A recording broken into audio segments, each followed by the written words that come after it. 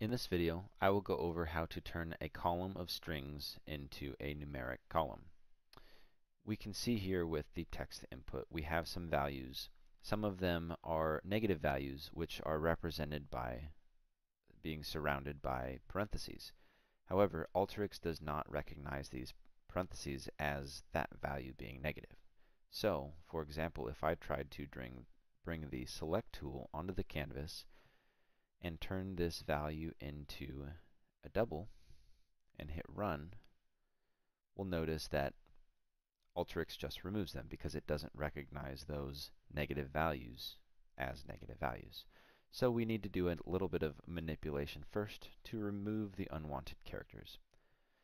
So what we can do is we can bring a formula tool onto the canvas and what we want to do is we want to replace the left parenthesis and the right parenthesis. We'll select the values column, and we can use a function called replace. String is just going to be the column that we're looking to modify, which is values. Target is what are we looking for. In this case, we're looking for a left parenthesis. And replace is we want to replace this with a negative because that's what the left parenthesis uh, is representing. But now we want to remove the right parenthesis. So we can go ahead and wrap another replace formula around this current formula. So we can go replace.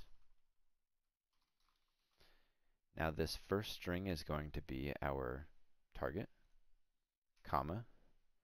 What do we want to replace? We want to replace a right parenthesis, comma. What do we want to replace it with? We don't want to replace it with anything at all. And now we can see that that one is removed. And now when we hit run, we can see that all of the left and right parentheses have been removed.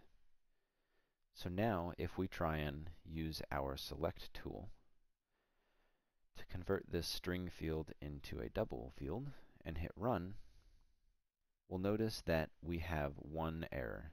This value was stopped converting at a comma. It might be invalid.